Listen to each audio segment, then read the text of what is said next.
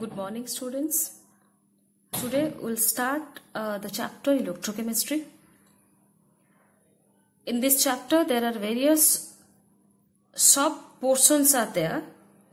That is electrochemical cell, then Nernst equation, various types of conductance, etc. We will start from the portion electrochemical cell. As per your syllabus, we will start from this electrochemical cell. Now, let me start with the definition of electrochemical cell, which is also called galvanic cell or voltaic cell. As per the definition, any system or device which converts chemical energy to electrical energy by means of indirect oxidation reaction where fall in chemical potential appears in the form of electrical energy or it can also be defined as any system or device in which electricity is produced as a result of chemical reactions is called electrochemical cell or galvanic cell. In a nutshell, let me explain the definition of electrochemical cell or galvanic cell that it is the system or device which converts chemical energy to electrical energy. So after the definition, let me come to how many types or how many various Daniell cells or galvanic cells are there. We can have zinc copper sulfate cell, hydrogen copper sulfate cell, copper silver nitrate cell, etc. Now let me give you the explanation of galvanic cell which here is the Daniell cell in detail. So the construction part let me explain first. This galvanic cell, that is the Daniell cell, is now consisting of two half cells. That is the left half cell as well as the right half cell. The left half cell is consisting of zinc rod which is dissolved or which is dipped in zinc sulfate solution. And the right half cell is consisting of copper rod dipped in copper sulfate solution. Now here zinc sulfate is 1 molar in right half cell also copper sulfate is 1 molar solution. Now this zinc rod that is also acting as anode is the negative electrode. The copper rod which is acting as the cathode is the positive electrode. Now these two half cells are internally connected by a U-shaped inverted U-shaped tube that is known as salt bridge. The main function of the salt bridge here is to maintain the electrical neutrality between these two half cells. Also, it maintains the or completes the cell circuit. Next, here it is anode that is zinc rod is a negative electrode and copper is the positive electrode. Those two electrodes are connected to the two terminals of a galvanometer. The main function of the galvanometer here is to detect the flow of current. This is so this is the form of construction of galvanic cell or the Daniell cell. Now after this construction let me explain you the working of this galvanic cell. As soon as the reaction or as soon as the entire setup or the connection is complete the zinc rod or the anode starts dissolving.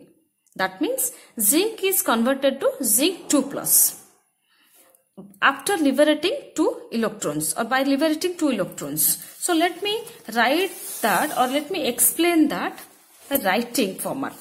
So in this zinc solid which was in the form of zinc solid now is converted to zinc aqueous and liberate two electrons. So we can say that here oxidation reaction is going on because we know that Oxidation is the loss of electron. So here we are losing two electrons. Zinc is converted to zinc aqueous. Zinc solid is converted to zinc aqueous by losing two electrons. Next, these two electrons after releasing from negative electrode or oxidation half cell, now these two electrons are taken off by the copper 2 electrodes, copper 2 ions from right half cell and reduction reaction is going on. That means copper 2 plus ions from right half cell. So let me cite copper 2 plus ions which were in the aqueous form now receive these two electrons and convert to copper solid.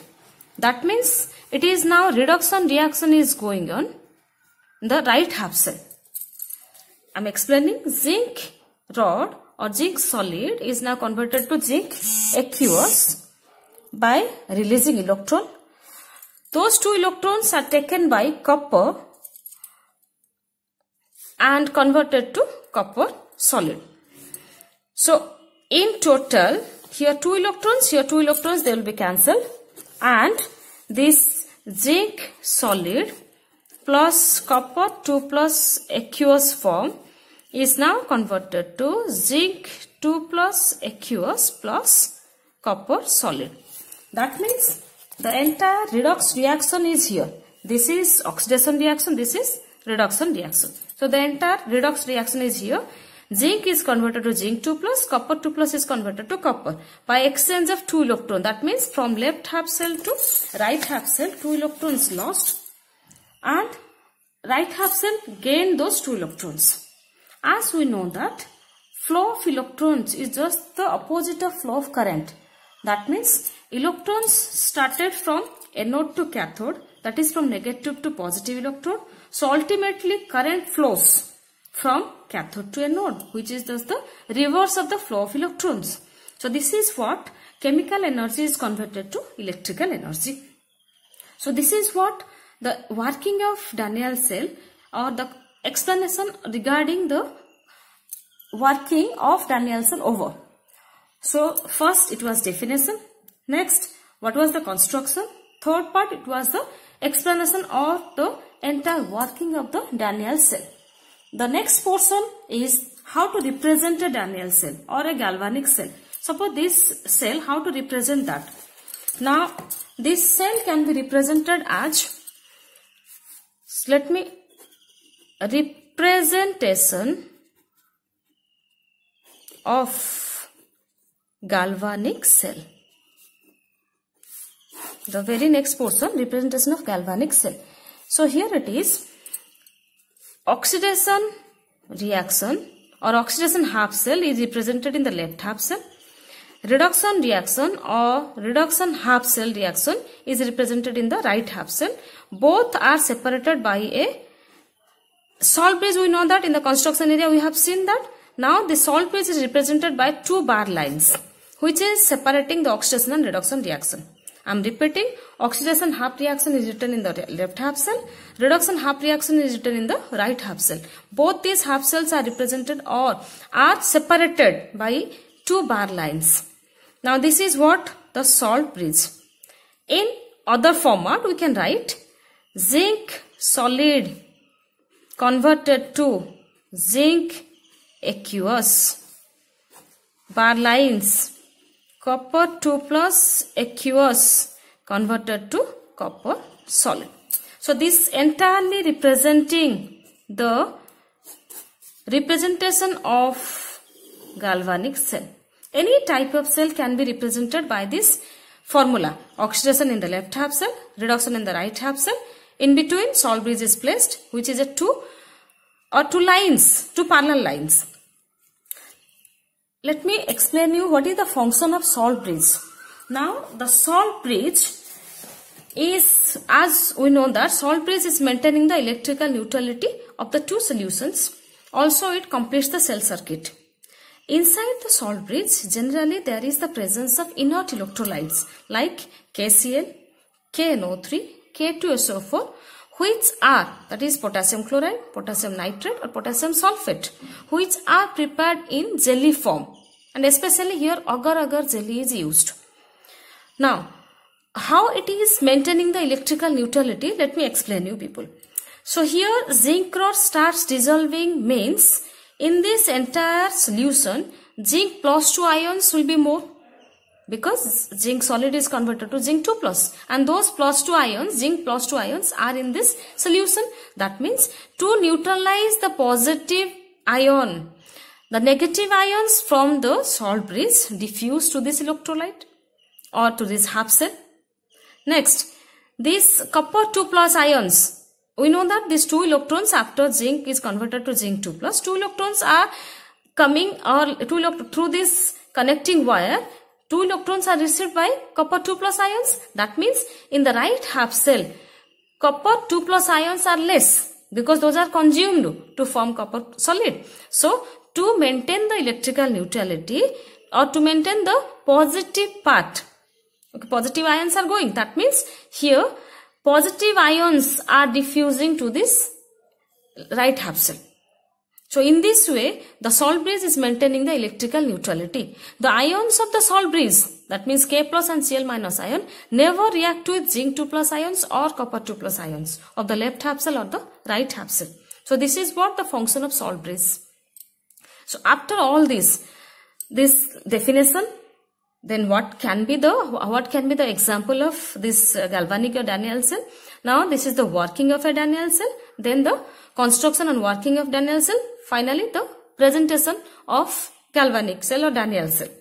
So after this, let me explain you how you are going to face questions from this area, specifically from this area. That means you need to face the questions like, so after the explanation of galvanic cell, its working area, let me explain you how you are going to face the questions from this section. The questions can be, as one question I am explaining, write the half cell reaction and net cell reactions of the following galvanic cell the following galvanic cell that is zinc solid, zinc aqueous, double bar, silver aqueous, single bar, silver solid. So this is what the question is. So representation of the cell is given. You have to write the half cell reaction as well as the net cell reaction. I am starting the answer. Here we know that this is oxidation half reaction or oxidation half cell. This is reduction half cell. So we will represent that in the form of reactions. So first oxidation half reaction.